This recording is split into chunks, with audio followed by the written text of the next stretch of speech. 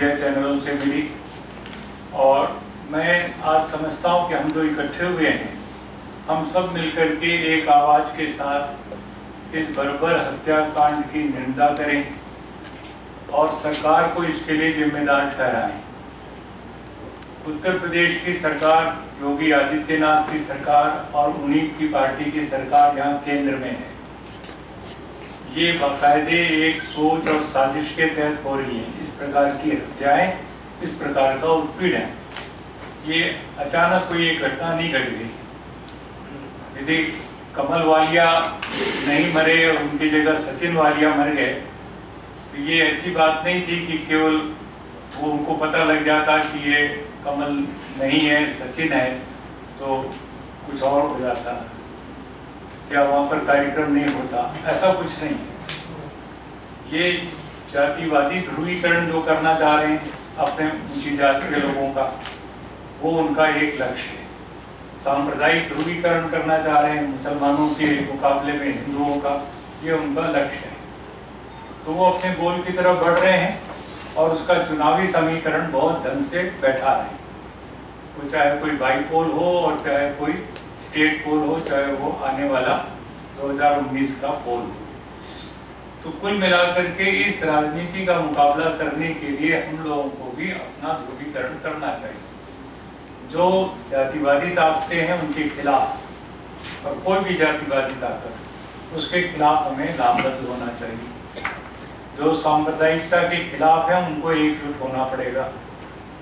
किसी भी संप्रदाय के हों।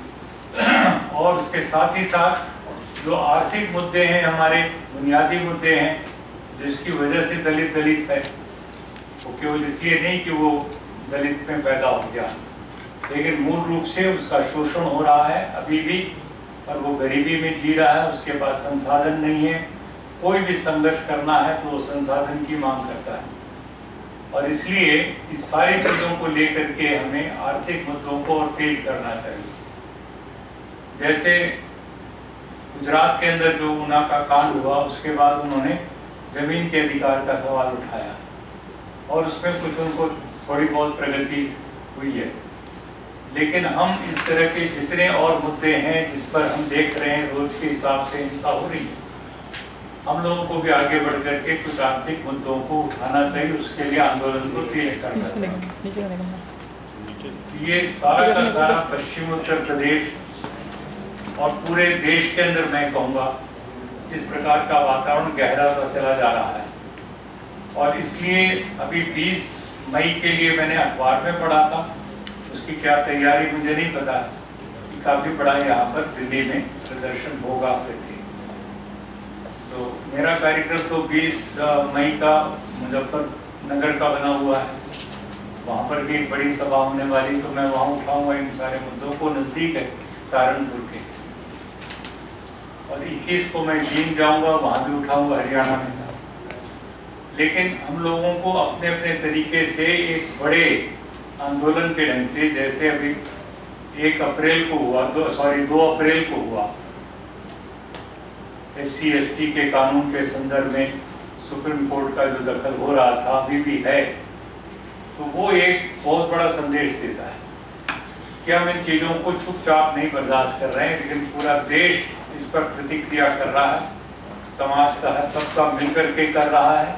ये दिखाई पड़ना चाहिए। तो मैं भी इस बारे में इतना ही कहूँगा कि जो भी कार्यक्रम बनाएँ, आप मुझे उसमें हिस्सेदार रखें।